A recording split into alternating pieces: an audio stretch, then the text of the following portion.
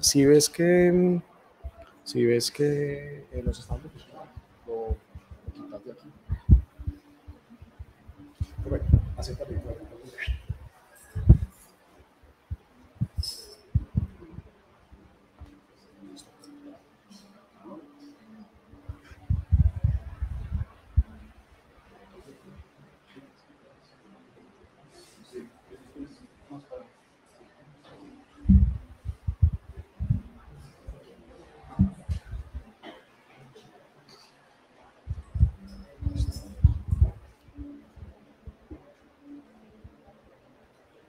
Hola, bienvenidos. Buenas tardes a este Viernes de las Artes desde la Facultad de Artes y Humanidades en nuestro campus La Floresta del ITM. Les damos la bienvenida a esta cátedra abierta con un título hoy muy llamativo, muy particular y muy delicioso. Una invitación que le hacemos desde luego extendido por YouTube Académico para todos nuestros estudiantes y suscriptores para que nos acompañen durante esta hora y media, un poquito más, que vamos a tener en este espacio. Nos encontramos, reitero, en nuestro campus La Floresta. Tenemos algunos, un público invitado, algunos invitados especiales, la familia y otras personas que nos han acompañado, pero queremos adicional que si ustedes tienen preguntas, las puedan hacer por medio de nuestro canal y desde luego estaremos atentos procurando responderlas todas. Tengo un gran invitado hoy, nuestro profe Wolfgang Furman, alemán. Profe, bienvenido, gracias por acompañarnos aquí, por estar hoy con nosotros. Y bueno, un espacio bonito, agradable y delicioso. Sí, total. Eh, me encanta Medellín, claro que vivió en Bogotá, sabe que los valores de Medellín. Sí, muchísimas gracias por la invitación. Bueno, ¿qué tal el clima? ¿Lo han tratado bien? Sí, claro, siempre me, sí, me siento muy bien en, en, Medellín. La facultad está hermosa, es una de las mejores facultades que conozco porque parece como una finca, o sea, ya como en espacio de, una, de vacaciones, con un ambiente. Sí, está muy bien. Profe, este nombre, un poco la relación entre ese flan que nos invitas a, a degustar hoy, a disfrutar con el cine europeo específicamente. ¿De qué vamos a hablar?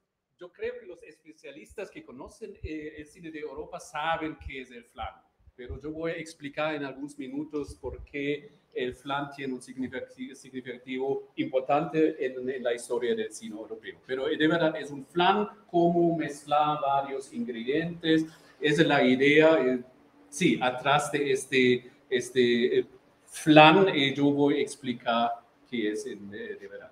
Seguro que vamos a disfrutar algo bien delicioso en este espacio y no puedo retirarme sin contarles que nuestro profe, eh, además de ser escritor, investigador, docente universitario en varias universidades, no solo de Colombia, tiene algo muy particular y es doctor en estudios del cine, que no es común en nuestro país, ¿cierto? Apenas estamos en ese desarrollo, así que, profe, bienvenido a este espacio, este es su auditorio, y recuerde que tenemos una gente que nos está observando y que seguramente van a tener preguntas a esta interesante charla. Bienvenidos entonces a nuestra cátedra abierta hoy en nuestros Viernes de las Artes.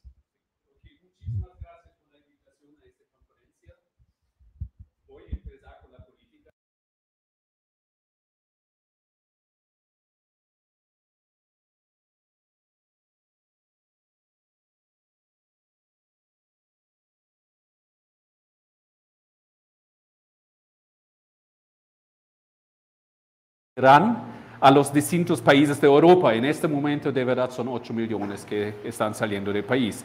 No hay duda que la guerra cambiará a Europa y al mundo. Ya también en Colombia ya podemos ver o sentir los efectos de la guerra. Además de la catástrofe humanitaria, podemos observar una respuesta política europea que no es obvia. Se sospecha que Vladimir Putin contaba con una Europa dividida de la que se esperaría poca resistencia a la invasión rusa. Sin embargo, hasta ahora Putin se ha equivocado, porque Europa se ha mantenido hasta ahora muy unida contra la eh, agresión rusa. La paz, la estabilidad y la prosperidad, piedras angulares, son los tres aspectos para la eh, comunidad europea eh, son las eh, piedras angulares en las que se apoya la Unión Europea, están en peligro para todos los países, sean de derecha o de izquierda. Eh, por supuesto, mi conferencia no pretende hablar sobre la política europea, sino sobre el cine europeo, pero basándonos en la unidad política de Europa que podemos observar en este momento, me gustaría debatir en los próximos minutos, 50 minutos, la cuestión de si hubo o hay también una unidad en el cine europeo. Cuando pensamos en el cine europeo, normalmente pensamos en sus diversos estilos de los años 20, ustedes conocen el neorealismo después de la, guerra, la Segunda Guerra Mundial, sus movimientos como la Nouvelle Vague, eh, o el cine alemán, o el nuevo cine alemán, el nuevo cine polaco, el nuevo cine británico, sin duda son importantes momentos en la historia del cine sobre los que hay innumerable literatura. Yo solo hablaré de ello de pasada. Me centraré en tres momentos de la historia del cine europeo que probablemente estén menos presentes para ustedes que los movimientos cinematográficos conocidos, pero en los que la idea de un cine europeo unido surge de manera muy especial. Si en la siguiente conferencia hablo de cine europeo y no menciona el cine latinoamericano ni con una palabra, eh, no es por una mala intención, no es por mi eurocentrismo, porque en junio de este año habrá otra conferencia de mi parte en la que hablaré de las relaciones transatlánticas entre Europa y eh, Alemania y América Latina, utilizando Brasil como ejemplo, porque es un campo de investigación, relaciones transnacionales entre Alemania y Brasil. Ahora sí, empezamos con eh, observaciones muy generales. Cuando se habla de Europa, se piensa en un lugar geográfico y en la idea política de una confederación de estados que, a pesar de sus diferencias nacionales, actúa conjuntamente y en tres de todos. Para la historia del cine, Europa es sin duda un lugar importante porque sin ella la historia del cine no existiría. El comienzo de la historia del cine está marcado por los nombres europeos, las compañías, las formas cinematográficas y la historia de la eh, teoría del cine. Primera página, por favor. En Francia, o más bien en París, aquí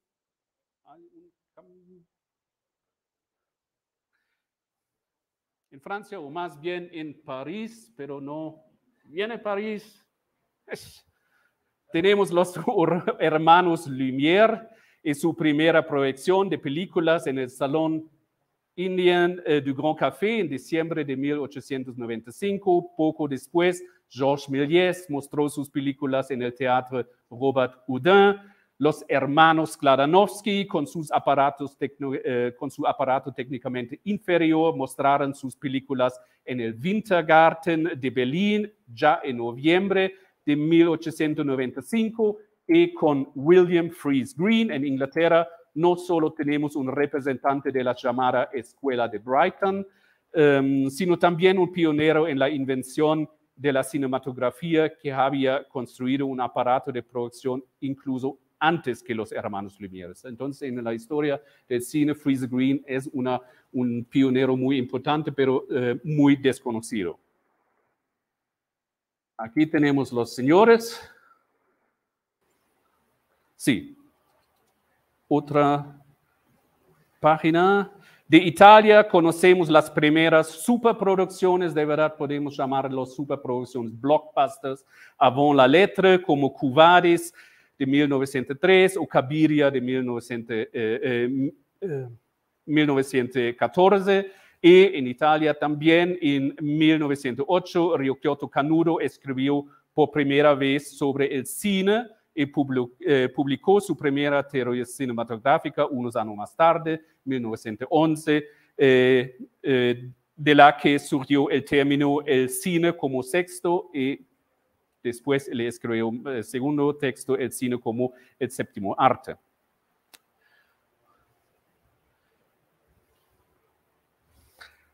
Primera página. En los años siguientes aparecieron en muchos países escritores pioneros en el campo de la teoría del cine y del pensamiento cinematográfico. Ustedes conocen los nombres Bela Balasch, Rudolf Arnheim, Emil Altenloh, Siegfried Krakauer, Sieger Werthoff, Serge Eisenstein, Baseldorf Pudovkin, Germain Dulac, André Bazin, Gilles Deleuze, Christian Metz, Laura Malvi, Teresa de la Retes, por citar algunos, y hay un montón. Eh, interesante siempre más hombres. Entonces tenemos que cambiar este eh, la historia un poquito. Pero la historia del cine europeo no puede contarse sin los cambios políticos. Ya volvemos a la política en el continente o través de él, como lo demuestra, eh, como lo demuestra la historia del cine alemán. Próxima página. El cine europeo no solo representa el inicio de la historia del cine, sino también el hecho de que la cinematografía se basó en la estructura del colonialismo, eh, en el colonialismo imperial de los siglos XIX y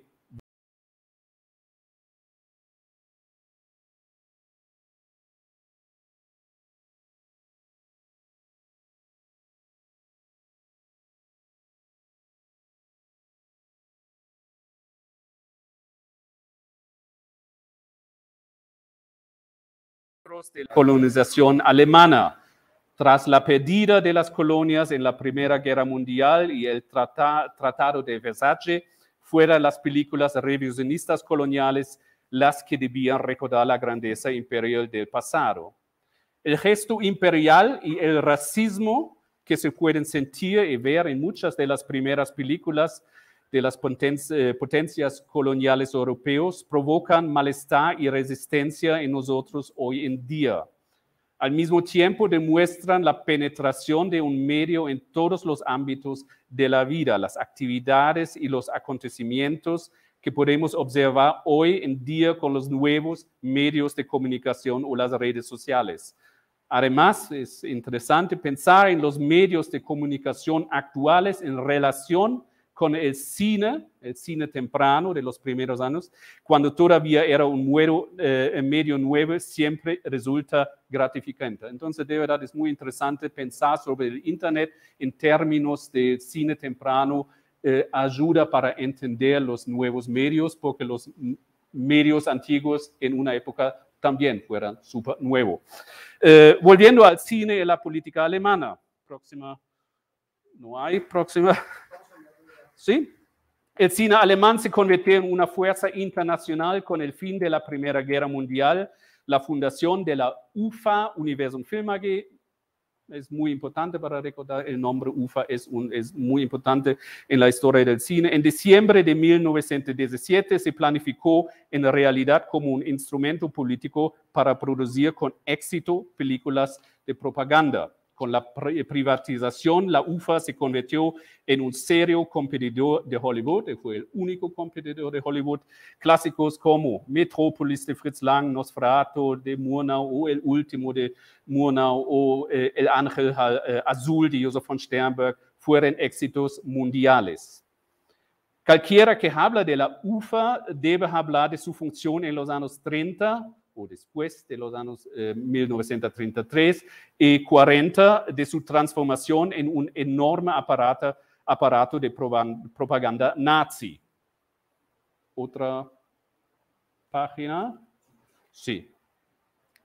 Del cine de propaganda de los nazis se pasa inevitablemente al cine joven, un nuevo alemán de los años 60-70, que se opone al cine de la generación anterior, como en muchos otros cines jóvenes europeos de los años 60. Entonces tenemos este movimiento, ese contramovimiento, ¿ya? el nazismo, fascismo en Alemania, en Italia, y tenemos los, los eh, movimientos de los nuevos cines, están contra los, eh, sí, eh, generación nazi. Y tenemos los, en la página, ustedes pueden ver, eh, los nombres, eh, klar, Rainer Werner Fassbinder, más famoso, Alexander Kluge, Geisendörfer, Schlöndorff, Wim Wenders, ustedes conocen las películas, eh, los directores. Otra página, por, por favor. Por último, pero no menos importante, la caída del muro de Berlín, la reunificación de Alemania occidental y oriental y el fin de la Guerra Fría provocaron el fin de la DEFA, no UFA, pero DEFA, de Alemania Oriental. La DEFA fue la empresa cinematográfica estatal de la República Democrática de Alemania. La reunificación produjo una serie de películas que tratan del pasado entre los dos eh, países alemanes. La película de mayor éxito internacional fue Goodbye Lenin, creo que ustedes conocen, de Wolfgang Becker en 2003, o eh, La vida de los otros de Florian Henkel von Donnersmarck de 2006, que también recibió un Oscar. Próximo, eh, próxima página. En los años 90, la Escuela de Berlín, no sé que ustedes conocen, la Escuela de Berlín se dio a conocer internacionalmente por su extra uh, ordinaria estética de historias cotidianas alimentadas por la experiencia personal. Di directores como Christian Petzold, Thomas Aslan o Angela Schanelek reflejan en sus películas una actitud ante la vida que sin duda puede relacionarse con el cambio de milenio, cuando no quedaba mucho de la gran agitación que se esperaba con el fin de la Guerra Fría. Y en este día sabemos que la Guerra Fría no acabó.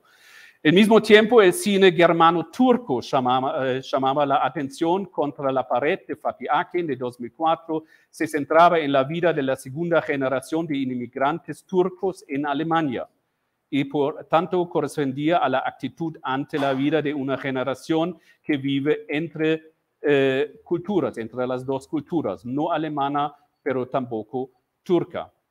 Las fases mencionadas en la historia del cine alemán pueden eh, englobarse en el concepto de cine nacional, aunque el cine germano-turco ya cuestiona aquí el concepto de nacional. Yo creo que en junio vamos a hablar, o yo voy a hablar más sobre el concepto de cine nacional porque es un concepto que es muy frágil y no tiene mucho, en un aspecto no tiene mucho sentido.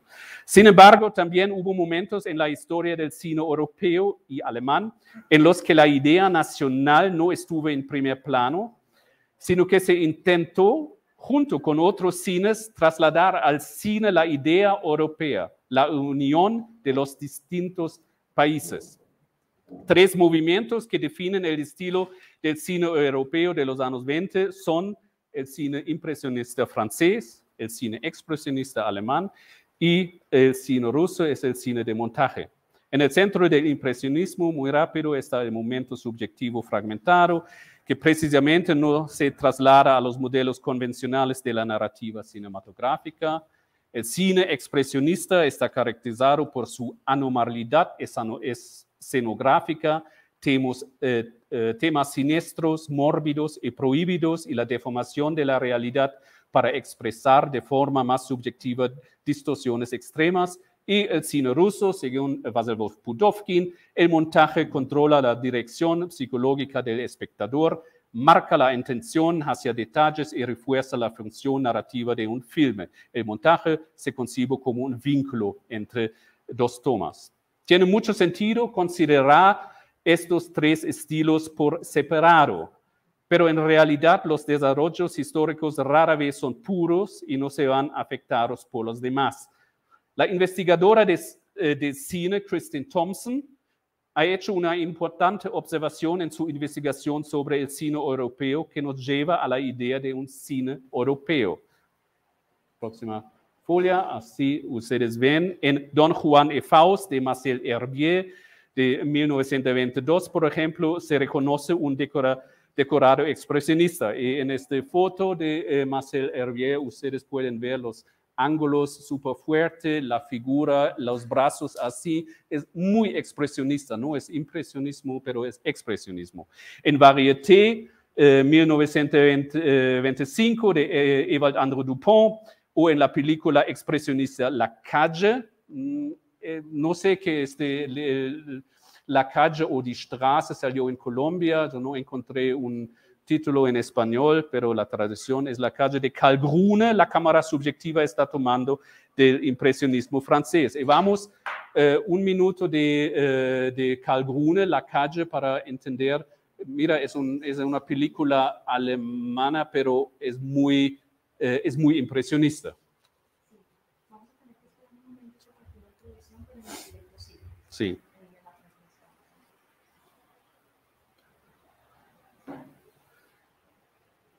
Ah, sí. ¿Era otra página? Este clip. Vamos a ver ahora. Pero este ahora pasa en el... Sí. Sí.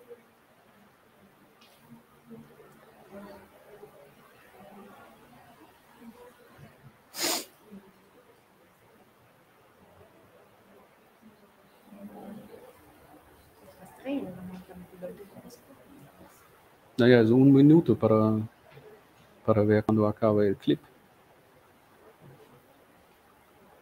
Laptop?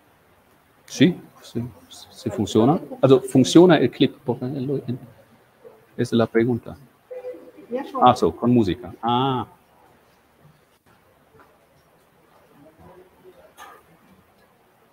Sí, entonces. Entonces, yo puedo mostrar aquí clip para ustedes.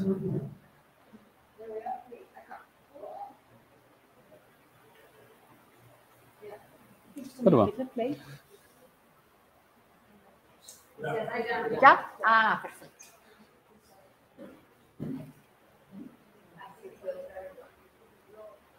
No. Sí, no.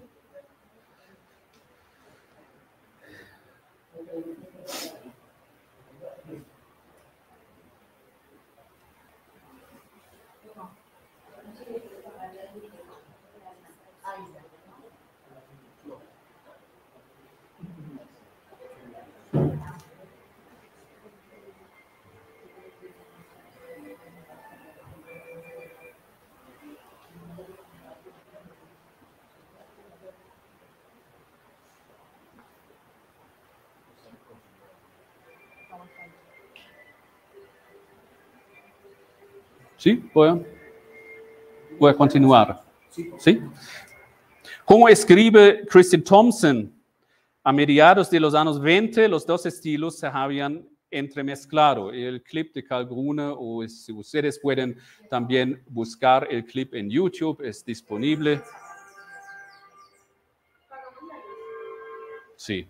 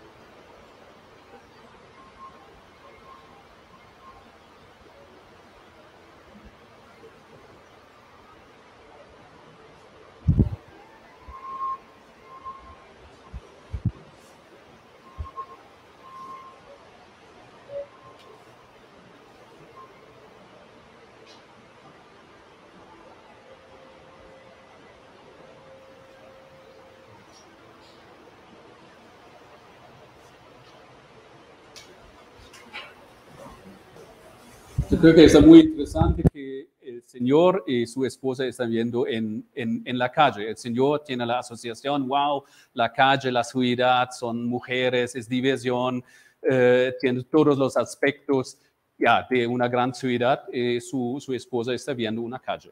¿sí? Eh, es, un, es, es, una excelente película, una de las mejores películas de, de sí, en la historia del cine.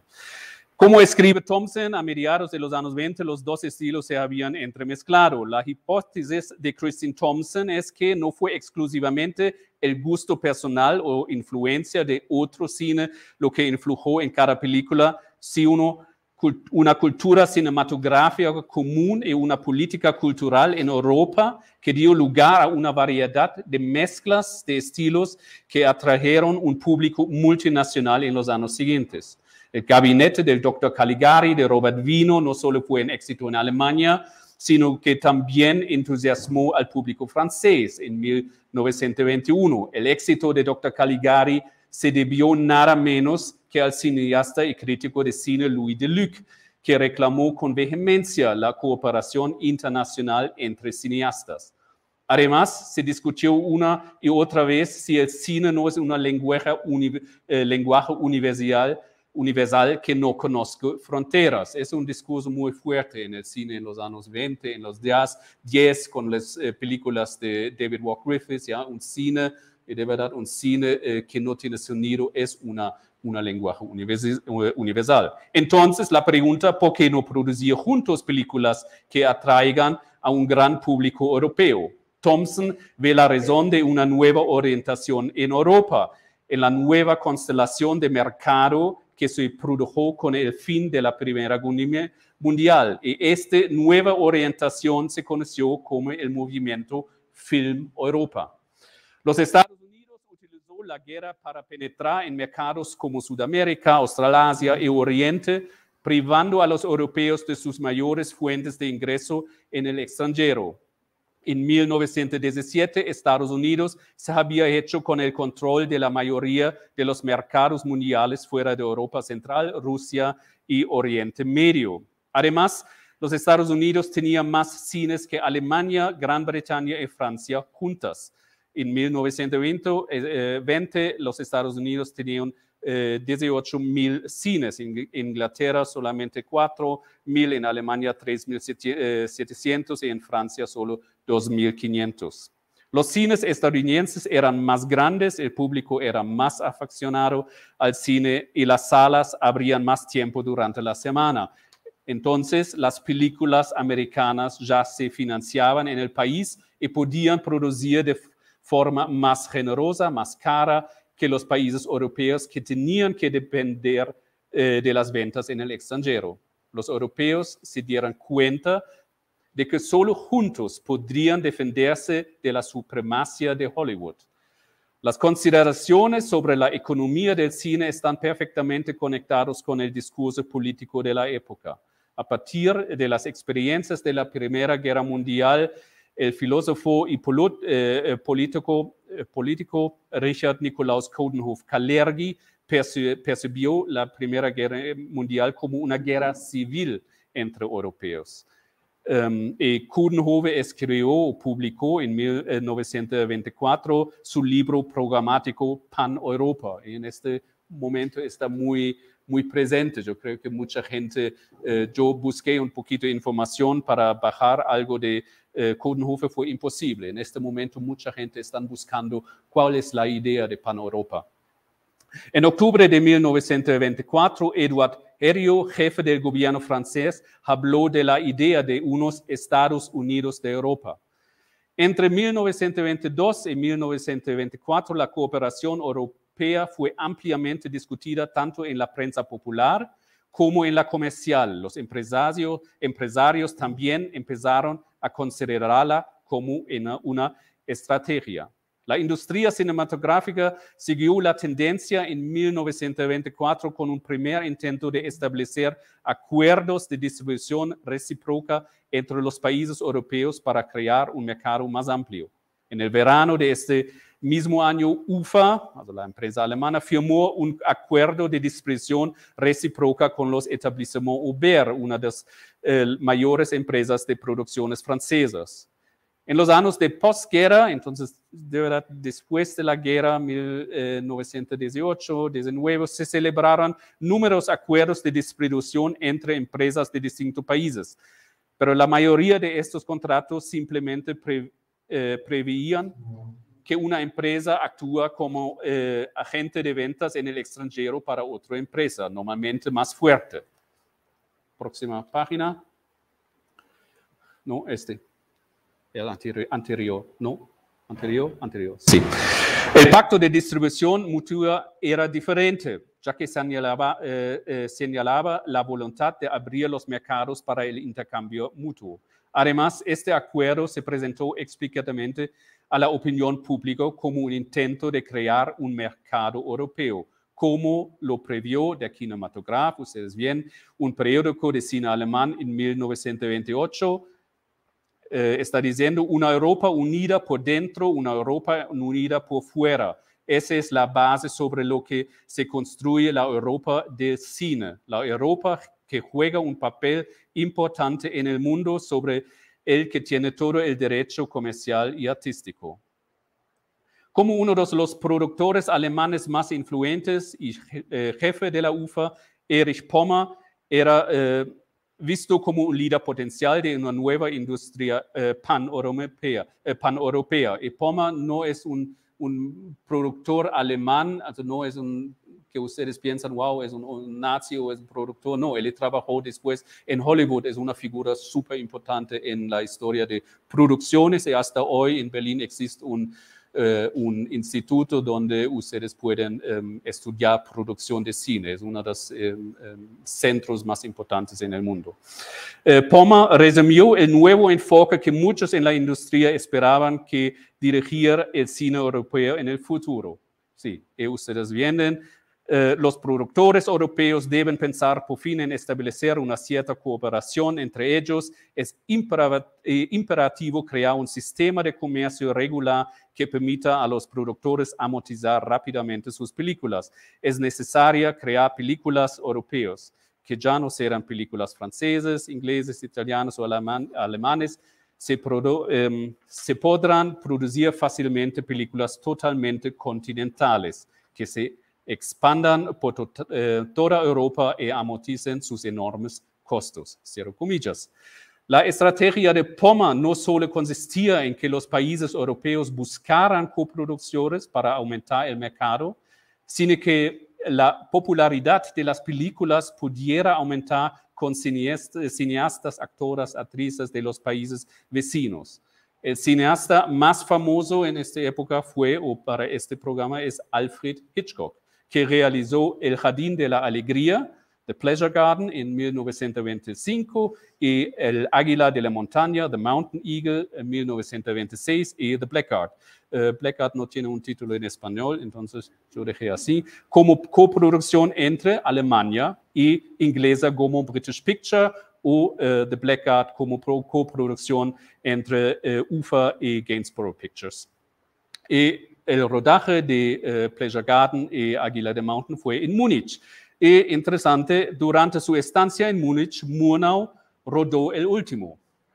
Eh, y como joven ayudante de dirección en esta época, Hitchcock aprovechó la oportunidad para entrevistar a Murnau sobre su trabajo. Entonces, en los mismos días, Murnau trabajó en eh, Múnich, Hitchcock trabajó con sus películas y siempre observó qué está haciendo Hitchcock, qué está haciendo Hitchcock, y posteriormente Hitchcock destacó en varias ocasiones la influencia de los cineastas alemanes en sus películas. Entonces, la influencia o este intercambio entre las ideas, ideas estilos es muy, muy presente. El movimiento Film Europa tuvo éxito aunque solo durante eh, unos años. Según Christian Thompson, entre 1906 y 1930 la cuota estadounidense en Alemania descendió de cerca de 45 eh, al 32% en 1930, mientras que la cuota alemana aumentó del 40% al 50% en los mismos años. Entonces, Sino Europa funcionó en ese sentido. La cuota de las películas británicas, que en 1930 26 era solo eh, del 0.4% en el mercado alemán, se multiplicó por 10 hasta 4% en 1929. El patrón fue muy parecido en Gran Bretaña y Francia, aunque en cada caso, cuando las acciones estadounidenses cayeron, la brecha fue eh, recuperada principalmente por las películas alemanes y luego por algunas películas británicas. Sin embargo, el éxito del movimiento Film Europa no duró. Con la crisis económica mundial, los países perdieron la confianza en las coproducciones. Se basaron en la protección de sus mercados nacionales y en la promoción de las exportaciones. Otra razón fue la llegada del cine sonoro, ya que la diversidad lingüística de Europa planteaba a los productores un problema casi insoluble. Hasta la introducción del cine sonoro era posible insertar intertítulos en una gran variedad de idiomas a bajo costo. A finales de los años 20, el doblaje de las películas aún no estaba la suficientemente maduro como para ser utilizado en el cine. Muchos países también esperaban que, con la llegada del sonido, las películas estadounidenses fueran menos populares y el público recorriera cada vez más la producción eh, las producciones nacionales. Sin embargo, el rápido desarrollo técnico del doblaje favoreció las exportaciones estadounidenses que volvieron a dominar el mercado europeo en los años 30. Por último, pero no menos importante, la idea de la cooperación europea fue seguida por la competencia nacional, más pronunciada en el cine alemán de los años 30 y 40 bajo la lema Gleichschaltung o sincronización.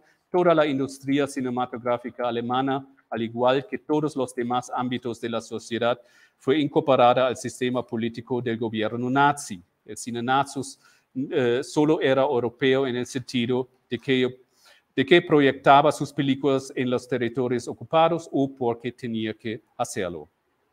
Primera idea de un cine europeo. Ahora el segundo eh, idea de un cine europeo. La idea de un cine europeo resurgió tras la Segunda Guerra Mundial que había provocado el hundimiento de la industria cinematográfica en la mayoría de los países. Solo Francia, Italia y Gran Bretaña pudieran seguir estrenando películas.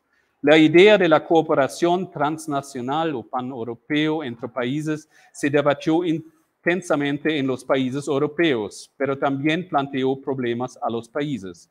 Por un lado, la Organización para la Cooperación y el Desarrollo Económicos, eh, OCDE, recomendó en 1960 se promoviera la producción cinematográfica nacional para preservar las culturas nacionales. Por otro lado, según una decisión de la Unión Europea, deberían eliminarse todas las cuotas en los países europeos. En 1904, 1946 y 1949, respectivamente, Francia e Italia celebraron un primer tratado de coproducción. En 1964, la cifra era de 711, que se duplicó a principios de la década 2000. La cooperación entre los dos países se desarrolló sin problemas porque ambos tenían modelos de financiación muy similares y compartían características culturales. En general, las coproducciones prometían el éxito financiero y el riesgo compartido, pero planteaban a los productores considerables dificultades.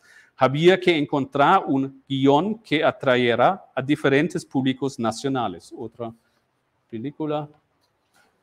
Eh, página. Asimismo, las estrellas conocidas en un país tenían que atraer al público de otros países y prometer un éxito financiero.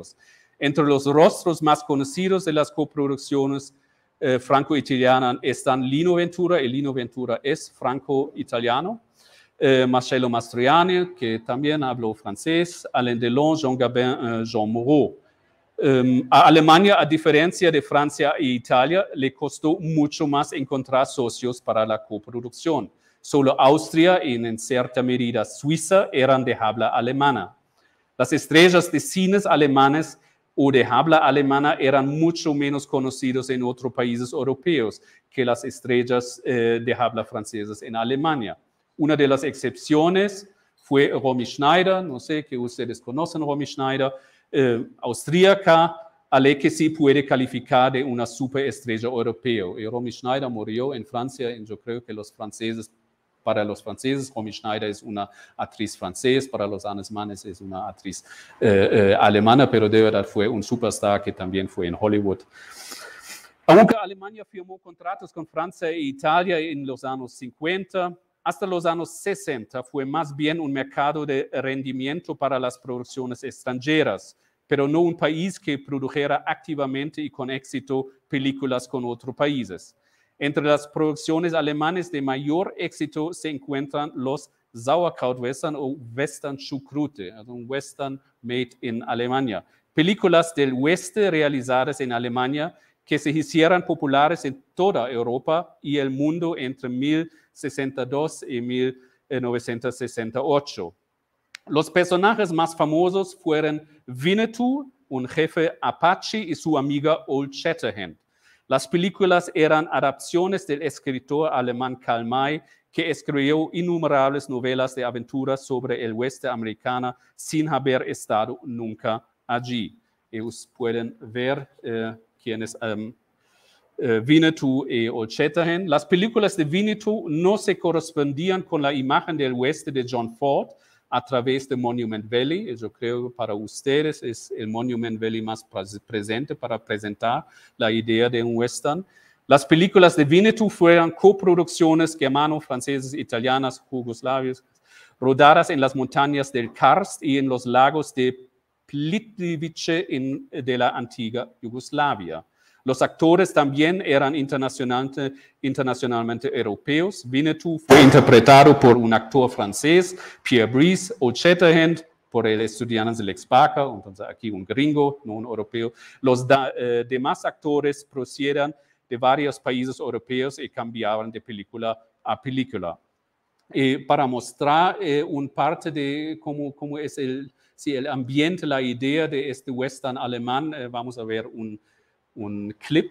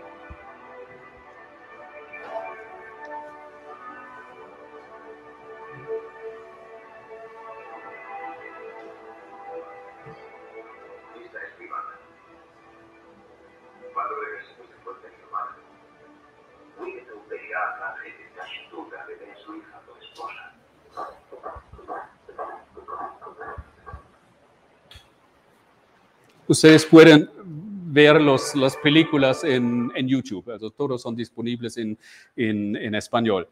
Um, sin embargo, los western alemanes no eran una imitación de Hollywood, sino una imagen europea alternativa del western. Europa, Europa tenía su propia América en Europa. Los informes de prensa sobre el rodaje y las locaciones presentaban a Yugoslavia como el futuro destino de vacaciones eh, exótico para los europeos occidentales. Yo me recuerdo, mis abuelas siempre hicieron vacaciones en Yugoslavia y de verdad mi primera vacación fue en Yugoslavia. Es súper hermoso y puede ser por causa de, de ¿ya? Porque la imagen, wow. Y más interesante aquí en este año 60 es de verdad ya es el movimiento verde, ¿ya? Los, los indígenas, los indios, ya viven en la nat- naturaleza, son súper eh, ecológico, entonces toda esta idea tiene un discurso muy fuerte con este partido verde que en este momento representa la, eh, em, el gobierno alemán. Los críticos británicos de la época los consideraron incluso superiores a los western de Hollywood porque volvían a los principios básicos del western, la lucha entre el bien y el mal. Y el éxito particular de las películas de Winnetou en Italia preparó el camino para los spaghetti western de Sergio Leone en los años siguientes. Es muy interesante que de verdad eh, Sergio eh, Leone conocía este Winnetou y también desarrolló su western, pero el spaghetti western de Sergio Leone es más italiano porque es más, es más como una ópera italiano. Entonces, eh, tiene, eh, es, es- ya, esos son- los westerns alemanes. Spaghetti western tiene elementos em, de la cultura italiana. Hubo otras coproducciones que tuvieron un éxito bastante dudoso en términos de estética cinematográfica. El esfuerzo por producir películas que tuvieran una amplia aceptación, pero que fueran artísticamente poco exigentes, se dominó en los años eh, posteriores. Europadding es el flan de Europa. Y esto explica el nubuloso título de mi conferencia, porque muchos cocineros estropean el calde y en este caso el flan europeo. Entonces, si ustedes encuentran la palabra Europadding, ustedes saben, son coproducciones de peor calidad de los años 60, 70. Que ha eh, quedado el movimiento Film Europa y de Euro, eh, Europadding. El movimiento Film Europa, como se ha dicho, duró poco, pero como señala Christine Thompson, ayudó a los cineastas en sus películas a obtener una mayor exposición. Si observamos el mercado cinematográfico europeo actual, los festivales del cine, la coproducción entre países y el trabajo internacional de cineastas, directores y actores se han convertido en algo habitual en Europa. El Europadding o el flan europeo sigue existiendo, pero ha perdido su connotación negativa en muchos lugares. Hoy en día, cuando se habla de coproducción europea, o menudo también coproducción internacional, se hace referencia a películas que cuentan con el apoyo del dinero de la Unión Europea, así como, se, eh, como de subvenciones cinematográficas nacionales. La mayoría de ellas son producciones cofinanciadas por varias televisiones europeas. La fundación, la fundación de la Academia de Cine Europa puede citarse como una respuesta europea de autoestima a Hollywood. La Academia de Cine Europeo, EFA, nació por iniciativa de un grupo de directores de cine europeo, ese fue Ingmar Bergman que fundó la eh, Academia, que se encontraron en Berlín en noviembre de 1988 en la primera presentación de los premios del cine europeo. Desde 1997 los premios del cine europeo se entregan los años impares en Berlín, em, eh, sede de la Academia, y los eh, años pares en otras ciudades europeas. Si se observan los países y se ve quiénes han ganado el premio principal allí con más frecuencia, se encuentran Italia, siete victorias, Alemania, cuatro victorias y Gran Bretaña, así como países cinematográficos más pequeños como Dinamarca y Austria. Es muy interesante que también países eh, chiquitos ganan el premio y con Dinamarca ustedes conocen Las von su manifiesto de dogma 95, eh, el dogma, el manifiesto de dogma está diciendo eh, eh, en principio, podemos producir con muy poca plata muy buenas películas. Y Las von Trier, con toda la polémica sobre su personaje, es muy importante para entender o para, eh, sí, para fortalecer las producciones en países pequeños, en cualquier parte del mundo. Al preguntarle en una entrevista al pasado más de diciembre si existe una forma europea de hacer cine al director de la Academia de Cine Europa, Matthijs Wouter Knoll, respondió, no, así no, um, yo no hablaría demasiado de estilo, pero para nosotros el cine europeo son películas hechas por cineastas europeos. Y con los cineastas no solo me centraría en los directores, sino en todos los que participan en el proceso de creación de una película, desde los guionistas hasta los directores, actores, diseñadores, compositores, etcétera, cierro comillas. Para Knoll es evidente que las películas europeas necesitan un esfuerzo común muy parecido a lo que pensaba Erich Pommer casi 100 eh, años antes. Abro comillas. Si me preguntan lo que también hace que una película sea europea, no es solo el hecho de que provenga de Europa, sino que en muchas cosas, muchas cosas, las películas europeas se hacen conjuntamente. Para que las películas europeas se hagan, hay que unir fuerzas para conseguir el dinero suficiente y estar seguros de que las películas se distribuyen en diferentes países, así que la colaboración y la coproducción son también características muy claras del cine europeo. Cierro comillas. Aparte del efecto simbólico de una industria cinematográfica europea común, hay un importante aspecto económico que promueve a Europa como lugar de rodaje. En el curso de las negociaciones del GATT, Acuerdo General sobre Aranceles uh, Aduaneros y Comercio, en 1993, Francia presionó para que la Comisión de la Unión Europea excluyera al sector audiovisual y no asumiera ningún compromiso. En este contexto, el entonces presidente François Mitterrand anunció el término excepción cultural. Este principio de excepción cultural fue percibido indirectamente como una medida del Estado francés contra la hegemonía y la cultura de la lengua estadounidense. En aquella eh, época, Francia protegía no solo su propio cine, sino también el de otros países europeos. Y los Estados Unidos en este, en este GATT eh, eh, contrato, ellos querían eh, tratar el cine como un producto comercial. Y los franceses dijeron, no, no, no es un producto comercial, es, ah, tiene algo a ver con nuestra identidad cultural. Entonces está muy importante para entender o para conocer este, este GATT, esa decisión. Sin embargo, la protección de la cultura europea no condujo al aislamiento de las culturas individuales. Se evita uno de los escollos ideológicos que, eh, con los que tiene que lidiar el cine nacional. El cine nacional, en el sentido de una identidad cultural común, significa la homogenización y la supresión de las diferencias sociales. El cine europeo está muy lejos de esto. Para Knoll es evidente que las películas europeas siguen una estética diferente. Y en este aspecto el cine europeo no sigue más a Pommer, Erich Pommer. Al contrario de Erich Pommer, Knoll acentúa las diferencias en el cine europeo. Y aquí abro comillas, una película que se haga en Francia o en Grecia o en Bielorrusia o en Samiland, en el norte de Escandinavia, serán películas muy diferentes con distintas tradiciones y formas de contar historias. Cierro comillas.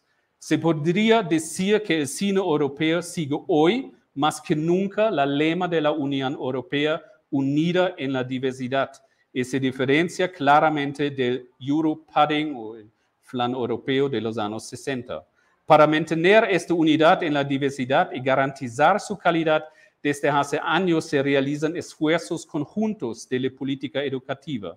El cine actual tiene una orientación mucho más internacional, entre otras cosas por la influencia del cine estadounidense y la profesionalización de la cinematográfica, incluido el estudio académico del cine. En Europa, por ejemplo, ustedes pueden eh, estudiar cine como una ciencia, es una disciplina muy fuerte con la teoría, con la estética, con la eh, eh, historia. Los estilos de cine y de medios de comunicación se encuentran entre los más populares en Estados Unidos y Europa. El inglés se ha convertido en la lengua franca del cine y muchos programas cinematográficos en las universidades se dirigen a estudiantes internacionales y europeos con programas de grado en inglés. Bastantes cineastas tienen un origen migratorio um, o hablan otras lenguas europeas. Por ejemplo, Daniel Brühl, ustedes conocen de Gut Lenin, uh, se llama uh, Daniel César Martin Brühl González y de verdad es un alemán español. Y nació en Barcelona. No solo es dueño de un popular bar de tapas en Berlín, sino que aparece una y otra vez en películas en español, hablando español o Florence Kasumba nació en Uganda, es Alemania y tiene una carrera internacional con papeles, entre otros en Black Panther y Avengers Infinity War. La reforma universitaria que vio Europa entre 2002 y 2008 aún no está exenta de problemas, pero ha facilitado mucho los estudios y la formación en varios eh, países europeos para garantizar la profesionalización de estudio de cine en algunos países europeos, los estudios de cine solo son posibles si se demuestra un talento artístico especial. Entonces, no cada uno, no, no todos pueden entrar a la universidad para estudiar cine. En Alemania, el estudio del cine está reservado a universidades de cine o las escuelas técnicas superiores. Otra, por favor. La cultura cinematográfica Europa se basa en un amplio abanico de financiación a nivel nacional y eh, europeo, el volumen de financiación de media, la institución Europa para la promoción de largometraje, documentales, series de televisión, festivales de cine, pero también juegos de ordenador, asciende actualmente más de 3 billones de pesos para 39 países. A pesar de la considerable cantidad de dinero, los innumerables esfuerzos en el campo audiovisual y sus innumerables talentos, el cine europeo no puede competir con Hollywood. Europa produce muchas películas, pero de estas también películas mediocres y también películas malas, que solo encuentran una pequeña audiencia y apenas recuperan sus costos de producción. Además, tiene que aceptar el reproche de que, a diferencia del cine asiático, por ejemplo, ha estado demasiado preocupado por sí mismo en el pasado para renovarse. Pero el cine europeo ofrece algo que pocos cines nacionales permiten, y eso incluye experimentar, probar nuevas estructuras narrativas, absorber influencias y cambios de las culturas europeas, pero también y continuamente sin miedo a una censura cuestionar, y eso significa cuestionar muy, muy, muy críticamente a Europa y su idea política. De las películas de Ken Loach o de los hermanos Daden, con sus detalladas miradas a la desigualdad y el frío social en Europa, Sudabet Motezai Joy, que abordaba la trata de mujeres en Austria, hasta Fukuamare de Gianfranco Rosi o Haveri de Philipp Schäffner, que cuestionan críticamente la política europea de refugiados y la política de exclusión. Si la libertad de este tipo de cine sigue siendo una característica de Europa, queda como una cuestión abierta. La unidad de Europa que observamos actualmente es frágil. El Brexit, un, un temido Frexit en caso de que Francia elija a Marie Le Pen como próxima presidente, países como Hungría y Polonia, donde la libertad de expresión es cada vez más difícil, populistas de derecha que prefieren ver la idea europea regalada a la eh, basura de la historia, como en Holanda, España y también Alemania, son un serio peligro. Como todos sabemos, la esperanza es lo último que se pierde y por eso esperamos que el cine europeo y su unidad, unida en la diversidad sigan con nosotros. Muchas gracias. Esta es, mi eh, contribución al cine europeo y espero sus preguntas.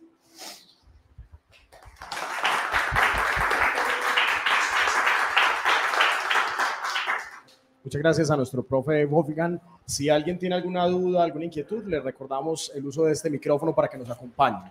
¿Sí? un comentario? Profe, vale la pena un par de minutos, eh, esto aquí fuera de cámara, pero usted es nuestro protagonista hoy, para que contemos esa, esa mirada que también tienen en Europa del cine colombiano, lo hablábamos en algún momento y es ¿Qué pasa? ¿Cómo se ve Colombia a través de su cine desde Europa? Cuéntenos un poco de eso. Sí, el problema, hay un problema general para todos los países de América Latina, es la distribución, es claro. Pero el cine colombiano es, es muy fuerte, es muy presente en los festivales en Europa. Em, yo creo que después Brasil, Argentina, México es en el cuarto lugar, tercero lugar con eh, muchas producciones que falta de verdad es un esfuerzo en la distribución, porque festival, y por eso tenemos, no sé cuántos festivales existen en Europa para ver películas de América Latina, tenemos, no sé, más de mil festivales, es la única opción para ver una película de Colombia. Pero por los premios, por, por la crítica, por las eh, reseñas, sí, de cine de Colombia está, eh, está muy fuerte, tiene un reconocimiento muy grande y sí, vamos a ver qué pasa. Siempre, claro, aquí es muy complicado o más complicado para financiar una película, es, siempre es la plata, pero em, yo creo que tiene una calidad que en este momento puede compartir con, sí, con los otros países como por ejemplo Brasil o Argentina. Profe, en algún momento nos mencionaban, Colombia ha venido desarrollando por medio de las comisiones fílmicas, cinematecas y el Fondo de Desarrollo del Cine, algunos espacios y abriendo esa oportunidad para que haya un mayor desarrollo. Pero desde su experticia, desde su óptica, ¿cómo ve el cine? Ya tenemos una mirada desde Europa, pero usted como profesional, como un especialista en este tema, ¿cómo ve el cine colombiano? ¿Cómo ve estas fuentes de financiación y el acceso de nuestros estudiantes y profes a este recurso? Sí, con la financiación yo creo que, porque por eso yo mencioné eh, eh, em, Las von eh, no necesita mucha plata para hacer una buena película. Yo creo que esa es una idea de Dogma 95. Eh, Entonces, en este sentido, claro, siempre necesita una plata, em, pero no necesitas billones. Em, hay un peligro, yo creo que muy fuerte, y también ya apreció en, en los periódicos, que las universidades en Colombia abren mucho el sector audiovisual para estudiar audiovisuales. Ese yo creo que va a destruir el mercado porque el país no necesita miles de estudiantes de cine. Entonces, eh, eh, aquí eh, em, ITM de verdad es una excepción como nacional que tiene programas. cine es una disciplina de arte, no es comunicación social. Para mí es una estupidez para llamar eh, cine eh, comunicación social. Em, entonces, eso es un peligro que de verdad este, interesa en el cine para, para de verdad producir miles de estudiantes que no van a encontrar un trabajo. No otro lado que yo creo que es importante para desarrollar más esta disciplina estudios cinematográficos. Entonces también si eh, alguien empieza a estudiar el cine para de verdad aprender mucho otras cosas, ¿ya? Cómo presentar algo, cómo investigar algo, ¿ya? Todos son, son conocimientos, son, son valores muy importantes para eh, se ofrecer al mercado laboral, ¿ya? Eh, entonces, yo también me gustaría ver también la, em, sí, este cinema o film studies, cinema studies, estudios cinematográficos como existen en Europa o en los, ah, claro, en los Estados Unidos para desarrollar más, mira, claro, el cine está chévere, hacer, no sé, una película es, chévere para investigar, analizar el cine, no como solo como un crítico, ¿verdad? con todos los herramientas profesionales, académicos, este, tenemos que desarrollar. pero vamos a ver, eh, eh, porque, por ejemplo, yo tengo muchos colegas en Brasil, en Argentina. Brasil Argentina son, muy fuertes en este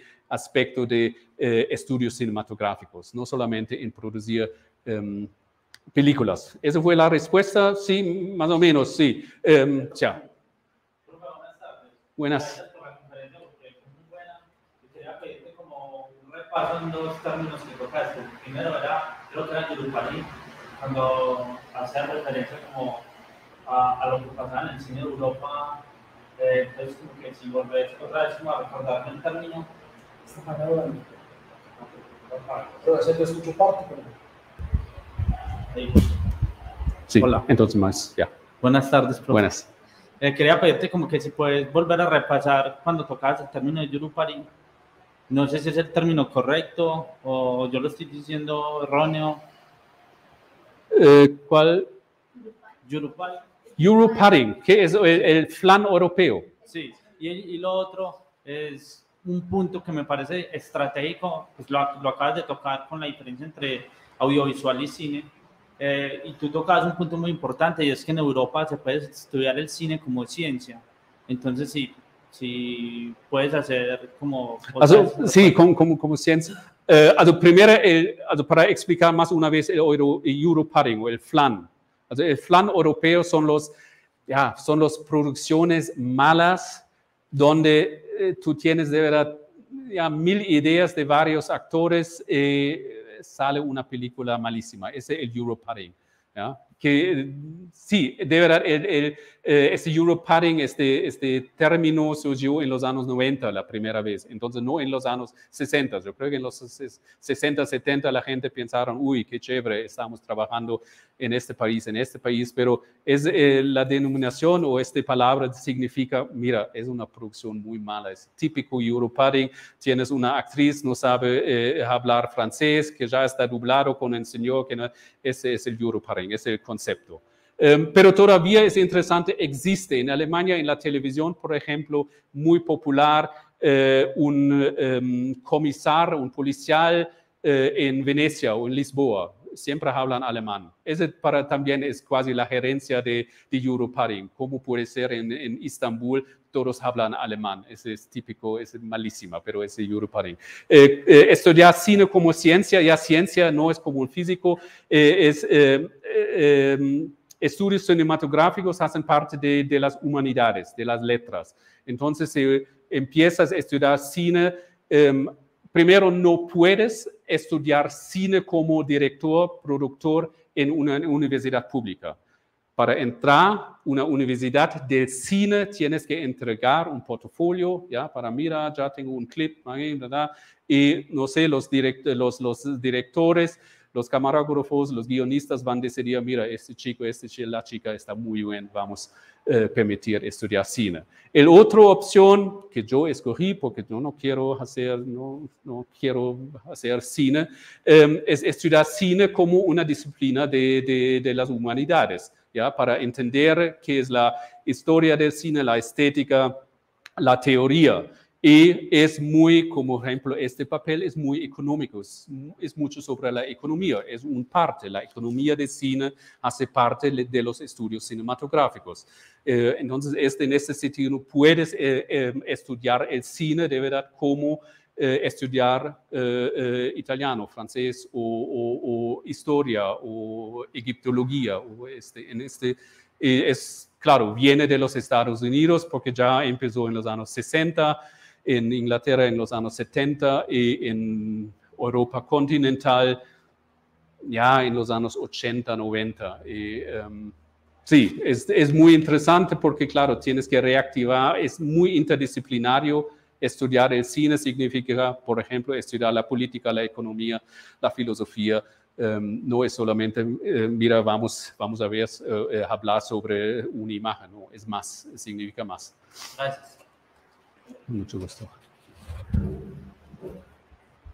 Quiero hacerte una pregunta. ¿Está funcionando? Eh, que es con relación a los premios que ha ganado o las propuestas de premio que ha ganado Colombia.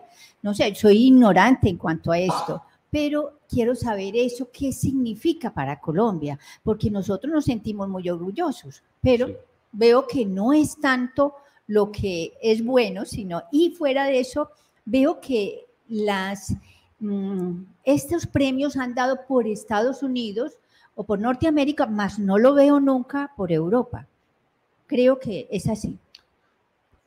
Es, muy, interesante, por ejemplo, vamos, eh, em, eh, el abrazo de la serpiente de Ciro. Eso es un buen ejemplo. No fue exitoso cuando salió en Colombia, no fue muy exitoso. Cuando ganó un premio en Europa, regresó a Colombia en este momento. Es, en un sentido siempre es así. Fass, Rainer Werner Fassbinder, el director alemán más famoso, fue más exitoso en, en, o primero exitoso en Nueva York y después fue reconocido en Alemania. Siempre es un efecto, ah, mira qué pasa afuera con nuestro cine. Ah, tenemos que valorizar el cine, es muy importante. Yo creo que Colombia no está valorizando su cine, pero es comparte con otros países. Cine siempre tiene un, sí, un, un, un sabor, un, gusto popular. Ah, mira, el cine no es teatro, no es la música. Um, pero eh, el cine colombiano also, gana muchos premios en los festivales en Europa. No sé cómo es de verdad el reconocimiento aquí en Colombia, eh, que ayuda. Um, el gobierno no ayuda mucho, claro, no hay tanta plata para producir películas como ¿no? Francia o, Italia o Alemania, pero yo creo que los, los, los premios de, de, del cine colombiano son preciosos y puede ser que no reciban el reconocimiento que, que les merecen. el, cine colombiano en este momento está muy fuerte, está muy bueno, pero, es, pero este pasa con, con, con, con muchos otros cines, ¿ya? que ganan premios en el país pasa nada, porque ¿no? es decir, ah, ya, ok, ganó un premio um, eh, y nada más. Pero es, um, sí, es, also no soy experto de cine colombiano, estoy empezando a estudiar el cine colombiano. Um, claro, el, también tenemos otro problema, eh, el cine empezó muy tarde, en, also, en comparación a Europa, muy tarde, no tenemos la historia como por ejemplo, en, en, Francia, Italia, que podemos hablar sobre el cine eh, temprano de la primera época en Colombia. ¿ya? Las primeras películas aquí con, que fueran muy exitosas fue en los años 20, empieza el cine colombiano como un, ajá, tenemos una, una cultura cinematográfica, antes no. Entonces también no tenemos este esfuerzo como en otros países. ¿ya? Francia, Francia de verdad es una excepción importante, tiene un un, un, una conciencia muy fuerte con el cine. El cine significa algo para eh, eh, los franceses. ¿ya? Es, es, de verdad, es, es otro país. España, España puede ser también. En Alemania también el cine no, tiene un, no es muy popular. ¿ya? La gente no se van al cine.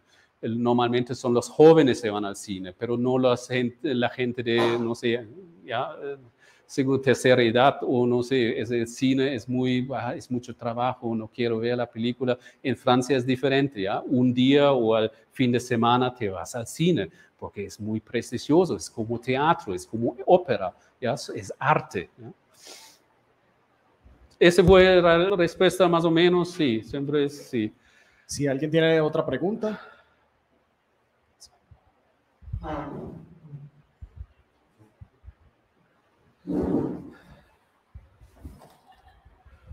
Sí, quiero eh, preguntarte sobre el comentario de que sigue siendo la hegemonía de Hollywood. Eh, como, como, planteas, el mismo fenómeno de que Europa se esté, se esté uniendo y que realmente haya demasiada cantidad de películas, como tú lo llamas el flan, pero Europa se está preparando realmente para competirle a Hollywood o simplemente ya dejó de, de- de lado esa competencia y reconoce a Hollywood como en, en el transcurso de la, de la historia como, como, como predación en el cine a, a nivel mundial. Sí. Also la idea siempre es eh, con, con Hollywood. Es claro, ¿ya? Porque claro, para un cine nacional, em, si está dominado por un cine extranjero como Hollywood, claro, siempre molesta ¿ya? La, la identidad cultural, ¿ya? ¿Por qué un cine extranjero está dominando nuestra cultura? Que es interesante con el cine Hollywood. Siempre eh, pensamos en el cine Hollywood como, ah, es un cine internacional, pero es un cine nacional. ¿Por qué mm, el cine nacional de Hollywood o de los Estados Unidos, Hollywood, es tan exitoso? ¿Por qué es tan exitoso en Colombia?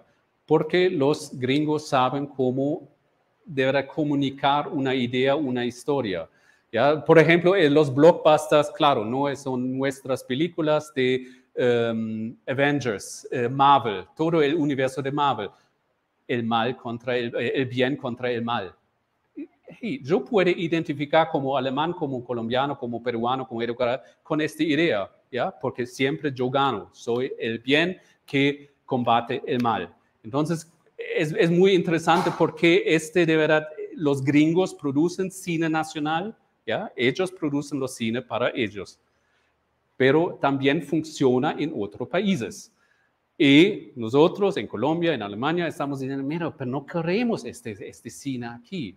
Pero por la, eh, por la re, recepción, por el público, puede ser no es tan importante. Puede ser, mira, si, si un, una película de Hollywood es súper exitoso en Colombia, ¿por qué no pensamos, tiene algo muy colombiano esta película?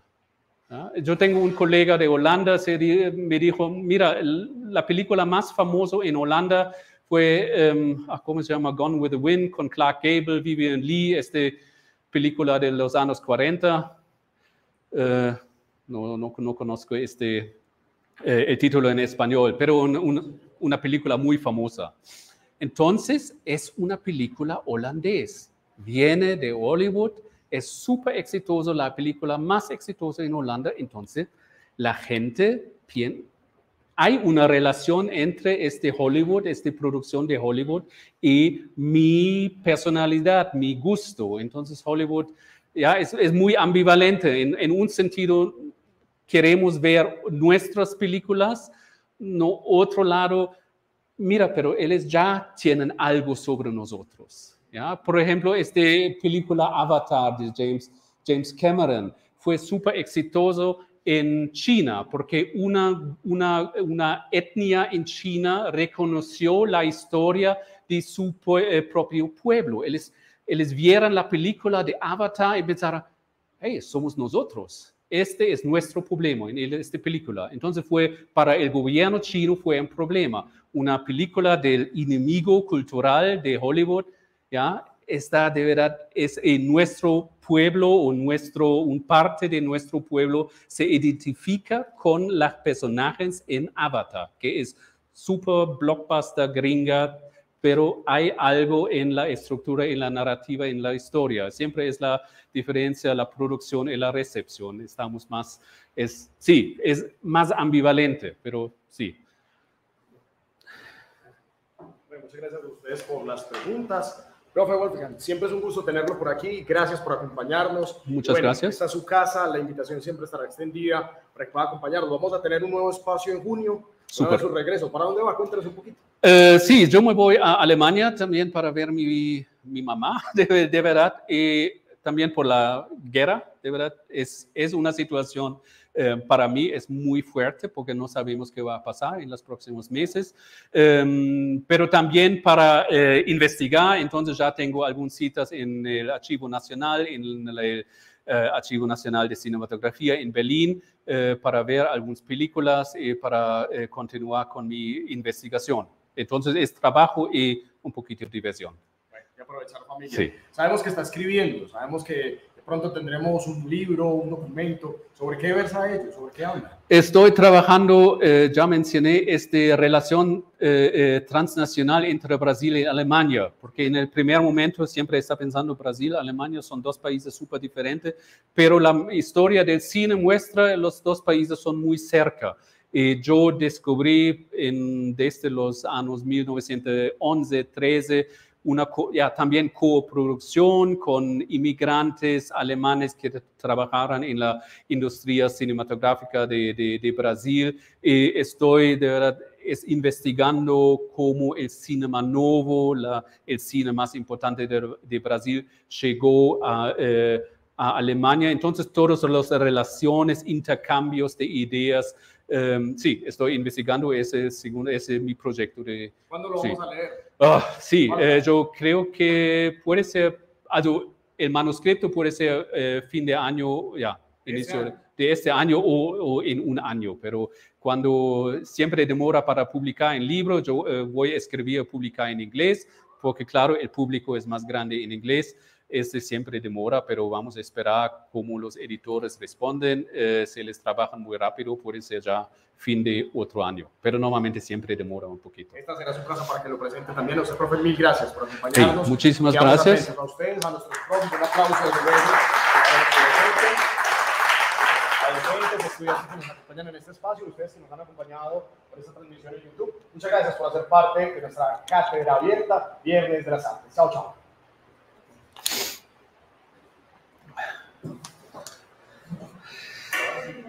Uy, uy, uy, sí.